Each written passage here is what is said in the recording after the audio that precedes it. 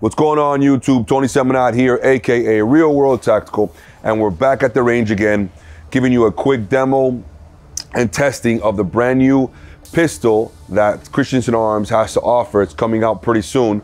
Um, it's called the Modern Precision Pistol, MPP, uh, bolt action, and it's the one that I have is going to be chambered in 308, but it comes in a ton of different calibers.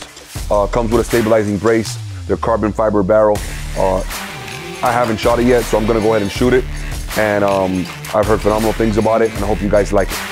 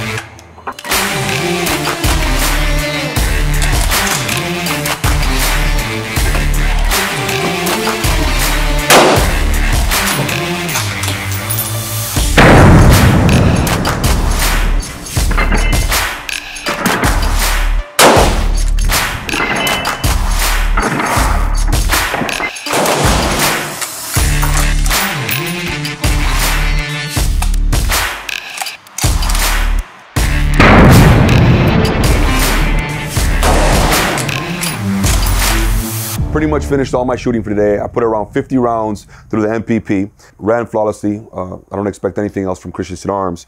Couple, couple of things that I like about it. Number one, um, super, super light.